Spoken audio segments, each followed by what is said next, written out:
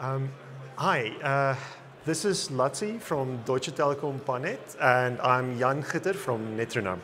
Uh, this talk is about data planes for Contrail or Tungsten Fabric, how to pick them and how to use them in an application.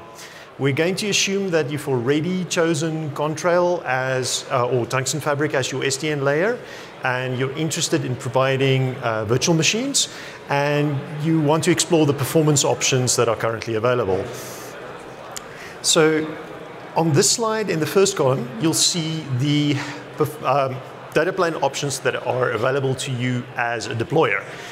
Um, the kernel vRouter is an out-of-tree kernel module that's similar in function to the Open vSwitch kernel module, and it provides a in-tree uh, or an in-kernel data plane. The DPDK vRouter is a user space data plane and it provides partial offload with RTE flow. Um, the VEB refers to a virtual Ethernet bridge uh, for flat or VLAN networks running on an SRIOV based NIC. And lastly, there are two modes that's available that have full, full offloads, um, direct and indirect plugging. Um, oh, sorry. The third column is what a user would see, a user of the, of the stack. They have access to the VNIC type. When they select a VNIC type of normal, it means that they will, their instances will see a VirtIO device inside the VM, and no PCI uh, um, device is assumed, um, consumed inside the host.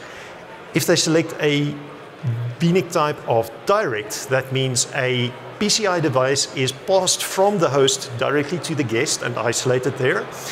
And finally, there's a VNIC type of virtual forwarder, which means that the, the guest only sees a virtual device, but it's guaranteed to be um, backed by a physical virtual um, by a virtual function on the host. Um, there's two ways of providing normal VNIC types using Contrail. The first way is using the in-kernel um, data plane, and that is that normally means that your data plane and your hypervisor is co-located. With DPDK vRouter, the data plane is isolated because it's in user space, and the it's running busy mode polling and it has access to partial offloads using RTE flow. Um, a cloud providing direct VNIC support has very little interaction between the hypervisor and the data plane because the data plane is always on the NIC. For a VEB, the data plane is limited to the uh, flat or VLAN networks. And when you're running on SmartNIC, you get uh, the basically the software vRouter data plane running inside the NIC itself. Um, finally, the v, uh, VOS, uh, forwarder case is kind of a mix between the two.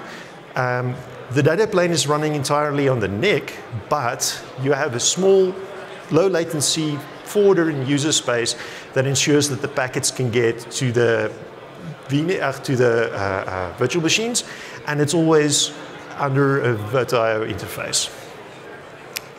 So how do you choose which data plane to deploy?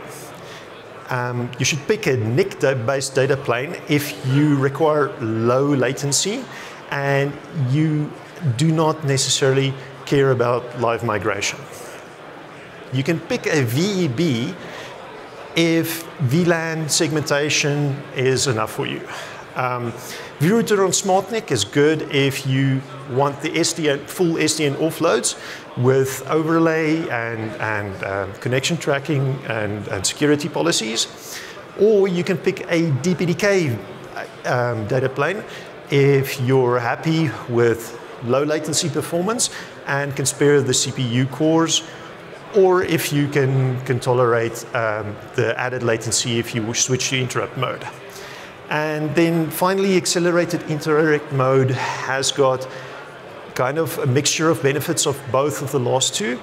Um, and then The next slide shows when these options appeared in which versions of OpenStack. So the VEB option appeared in Juno, but it's likely that it's only usable in Contrail since Liberty. Um, Netronome provides support for a number of vRouter on SmartNIC solutions.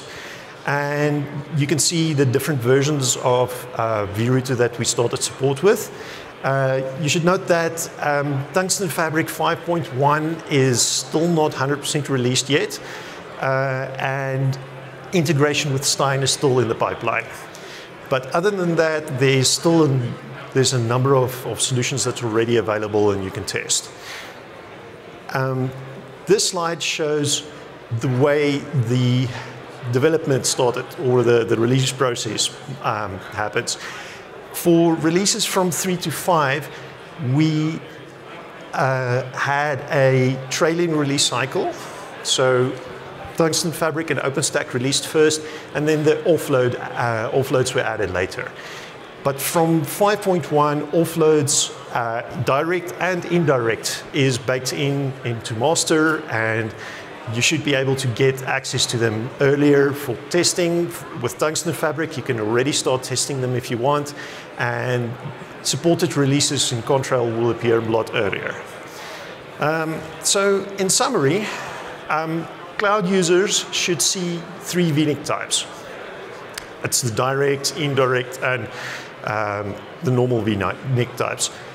Um, keep, uh, keep in mind these VNIC types are, uh, there are many more VNIC types available and they normally go with things like ironic and bare metal provisioning and a bunch of other scenarios.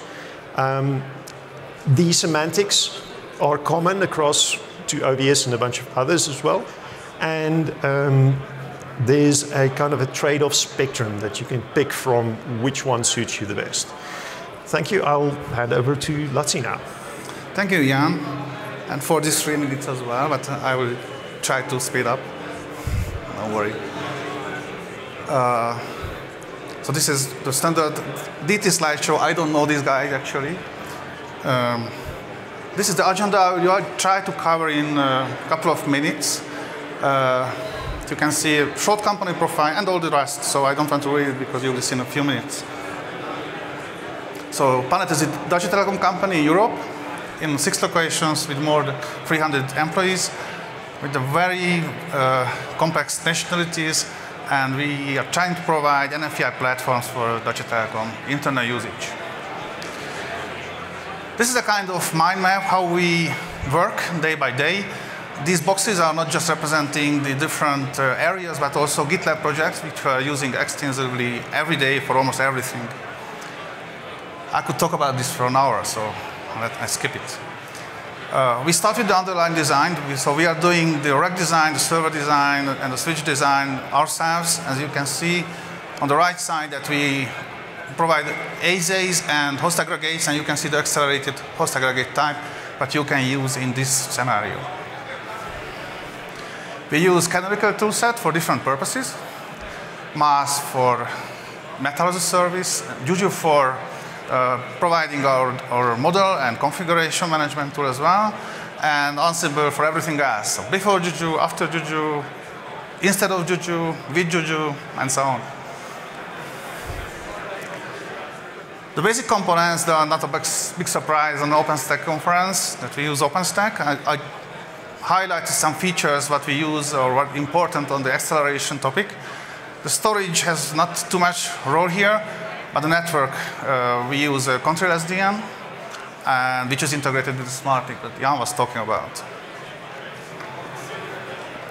We use infrastructure as a code, as everyone is trying to do, we as well.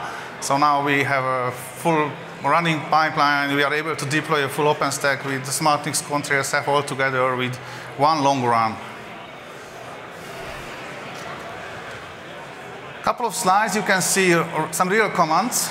Uh, you can see the, I will show you some uh, uh, slides about the port creation, which is very easy. This is, a, this is the standard normal type, so nothing special here.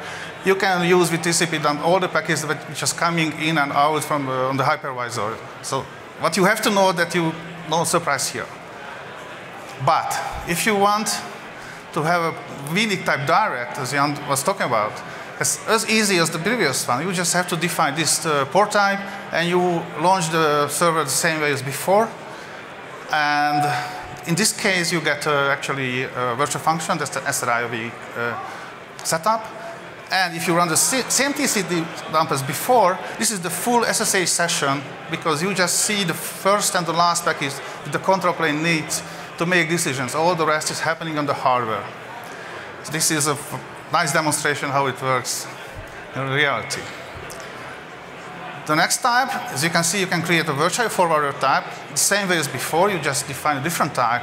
Actually, this is my favorite one because here you can get those SRI-like performance, but the VM has nothing to do with this. So as you see on the next slide, in the VM, the, on the bottom you can see a, a direct type, but the virtual forwarder has no clue that it gets an accelerated uh, port. So this is the vEPC proof of concept. You can see a couple of different companies was uh, involved. Uh, this is a very complex, took a couple of months, and a couple of hundred use cases were uh, performed on this platform. Uh, this is the VM setup, which is uh, fairly strange. You can see huge VMs, so the the telco vendors are still, I think should learn what cloudification means, definitely not this. So Anyway, they look at the computer as a line card today. And this is a summary. Uh, it's a very long uh, presentation. I just wanted to highlight a couple of uh, findings that relates to the usage of the SmartNICs. Again, we, we could use, the, we prefer to use the virtual forwarder VNIC type, which is almost SRIOV, but with the flexibility of a, of a standard port, and we can get extreme performance out of this. Thank you.